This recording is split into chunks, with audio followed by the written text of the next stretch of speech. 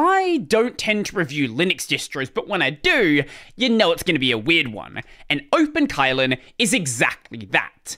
Not to be confused with other distros with Kylin in their name, like Kylin. This is a completely separate system. It is a proprietary OS from 2001 developed by China's National University of Defense Technology.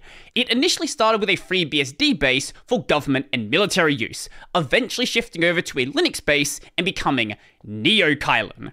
Also, not to be confused with Ubuntu Kylin, which is an official Ubuntu flavor developed as a partnership between Canonical and China's Ministry of Industry and Information Technology. This is generally described as a loose continuation of the original Kylin project. But OpenKylin is a completely different system that a lot of mainstream outlets are completely misreporting on. Reuters, China releases its first open source computer operating system, and then other outlets like Yahoo literally just reposted the exact same article. China releases its first open source computer operating system, and then other outlets are saying basically the exact same thing.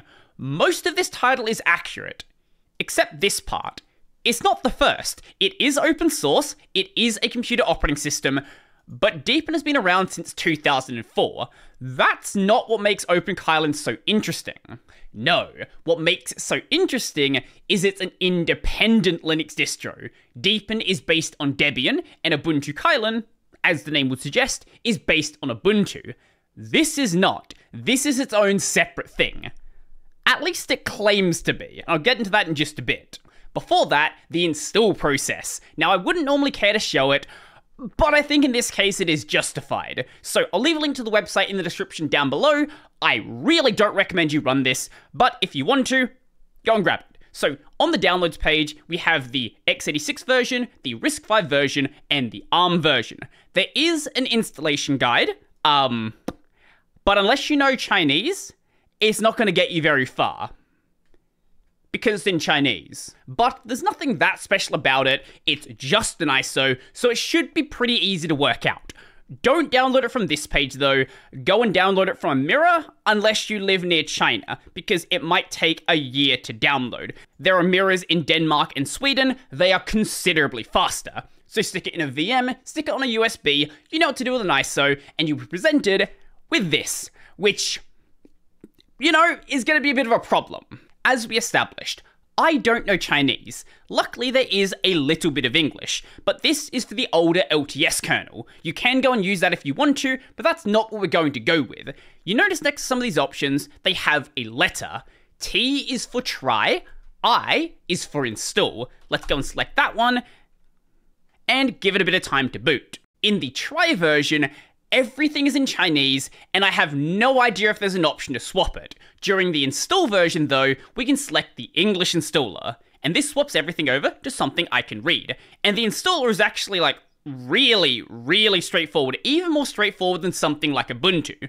For some reason, uh, we can't actually move this map around, so I can't select Australia. So we'll just select something with a roughly similar time zone, uh, I I guess that's fine. I don't know why Australia is not here. Maybe they just don't like us. Next, now we select our username. I'm going to go with Brodie, select a password, use one that is totally secure because you're definitely not going to have everything leaked about this system we can also select automatic login on boot, which is, you know, nice to have. Keep in mind, if you're going to do this in a virtual machine, which I highly recommend you do, you need to give it at least a 20 gigabyte hard drive, otherwise it will not let you install it. You have the option of a full install that does all automatically, or a custom install where you can choose how things are going to be partitioned. I don't really care to do that, so I'm just going to go with the full install and click next. Select formatted the whole disk and start installation. And that is all. That's literally all you need to do. And during the install process, it's going to show you these little fun graphics here. One of them, this one, I noticed kind of looks like Ethereum. I don't know what any of these graphics say because they're all in Chinese, but I'll swap back to that system that is already installed. Upon booting your newly installed spyware, you'll be presented with this grub screen, which has a grub theme. I don't think it's a great grub theme. I think it looks completely out of place compared to the rest of the system, but it is here nonetheless. Selecting Open Kylin GNU Linux is going to boot it. You do get this nice splash screen graphic. You see this when you're going through the installer as well. I actually kind of like it. It's like a nice little thing to see as you boot. Also, there is going to be this nice little uh, tune as well. This is a thing I said sometimes happens. Sometimes it just forgets to open up the display manager, which might be a virtual machine thing, I'm not entirely sure.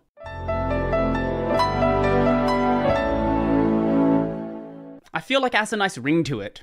This makes use of a desktop you've probably never seen before, but it does kind of wear its inspiration on its sleeve.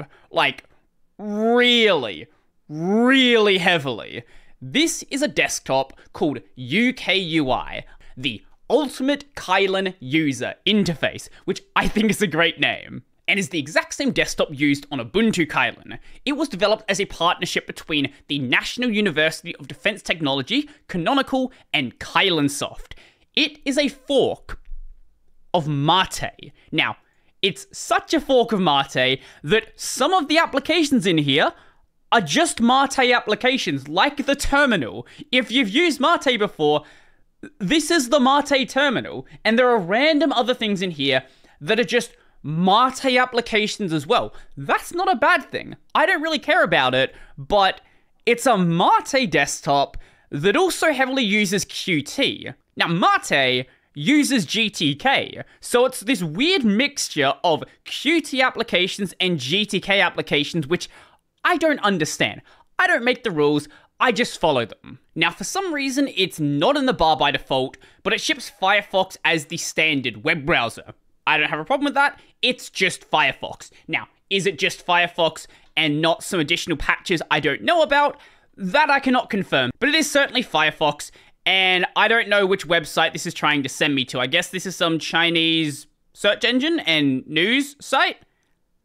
I don't know what this is. Last time I opened the browser, this didn't happen. Now, it also ships an Office suite. It's not LibreOffice, it's not OpenOffice, it's WPS Office, which should be kind of expected as WPS Office is a Chinese developed project. Also, there are those rumors that maybe certain phrases were leading to files getting audio encrypted and deleted you know, these were never confirmed, but it kind of makes sense that a Chinese system is going to use WPS Office. Also, as should be expected, it does ship an input method editor, that being FCITX. This is an application that converts your alphabet key presses into the respective Chinese characters. Now, in the English version, it is not enabled by default, but in the Chinese version, if you press Control and Space, it will start doing that conversion for you. Now, considering this is supposedly an independent distro, what is it using to handle its software delivery? Well, one thing it does have is a software store. Now, much of what's on here you're probably not going to recognize, but there are some things in here that, you know, you probably have seen before, like it was in here just before. Where did it go? Hey, look, Pulse Effects. That's not the one I was looking for. I was actually looking for Kdenlive. right there. So you will find regular applications you've probably messed with before. That's not the only thing it has. It also has a package manager. What package manager, you might ask? Well, it has apt. apt is here. Okay, so it's not totally independent, but you can still have an independent distro that is using an established package manager. Don't worry, we will get to that. It's just some random other things along the way. Down here, we have a virtual keyboard, so clearly this is made to work on mobile devices as well. I don't really care to use it, but there's not really any way I've seen to hide it, so it's just always there. Also, there's this really weird weather app which only supports Chinese cities. Searching for anything outside of China is not to get you anything of use, like at all. But then there's also this VPN button. You can just go and configure a VPN with this, which for a Chinese market focused distro seems like a really weird addition. But my very favorite application is the code editor. This is called Kylin Code. Now, you're going to recognize the application, but I'm not really going to be sure why you recognize it. Hmm. What could this possibly be? I don't know. For anyone who doesn't understand humor, this is obviously just a rebrand fork of VS Code.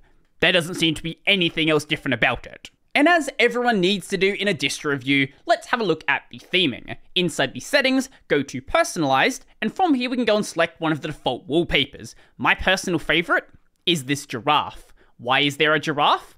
I don't know, but I like it. The other ones, you know, they all look kind of nice. You know, it's great and all. I don't care about default wallpapers. I'm just going to pick something else. But there is one thing you might want to change from light to dark. And now, when we open up a terminal, it isn't blindingly white. You can change the accent color, not color, color, very important difference. There are some icon themes pre-installed, there are some different cursor themes installed. They all look great in their own right, but let's get into the weird part. The default partitioning scheme makes literally zero sense. So we have our SDA drive here. This is broken into three partitions. So we have our boot. This is given one gigabyte, which is a fairly small boot, but is totally acceptable. The system is working just fine with that size. Then there is SDA2. This is a 1 kilobyte partition and is not mounted. I don't know why this exists. I have no possible idea what you could do with an unmounted 1 kilobyte partition. And then 3 and 4 are skipped. And then 5 is where the root is. I didn't know you could even skip partition numbers. I thought they always had to be sequential. Also, there's no swap partition. There's no swap file either, so there's just no swap, which I know some people just don't really care about. Personally, I do like having swap there though. For some unexplainable reason, random tools like less are just missing. Why? I don't know. If someone can work that one out, please tell me. So, what about this being an independent distro? Well, we can very easily confirm it's not pulling from Ubuntu servers. If we go and do cat on the sources list, it is pulling from archive.build.openkylin.top. This is OpenKylin's own servers. But do you remember when Huawei came out and said, we made a completely independent mobile OS? That was called Harmony OS. And it was found out very quickly it was literally just an Android skin that they called their own separate thing. Would you be surprised if I told you this was basically just Ubuntu? Here is one of the grub configuration files. If we do a search for Ubuntu, Ubuntu slash Kubuntu, Ubuntu recovery, Ubuntu recovery, and a variable called Ubuntu recovery. And there is another file that has the exact same thing if we do a search for Ubuntu, Ubuntu recovery, Ubuntu slash Kubuntu, Ubuntu recovery, Ubuntu, Ubuntu, Ubuntu, Ubuntu recovery. And I'm sure if you did a bit more digging, you could probably find random other config files as well. Over on the register, they found that the GCC build made use of a bunch of Ubuntu flags. For the record, there is absolutely nothing wrong with doing this. The problem is when you do this and then say you have an independent distro. It's not independent, it's just Ubuntu. Let me know your thoughts in the comment section down below. If you liked the video, go like the video. And if you really like the video and you want to become one over these amazing people over here, check out the Patreon, Scribes, Liberapay linked in the description down below. That's going to be it for me and...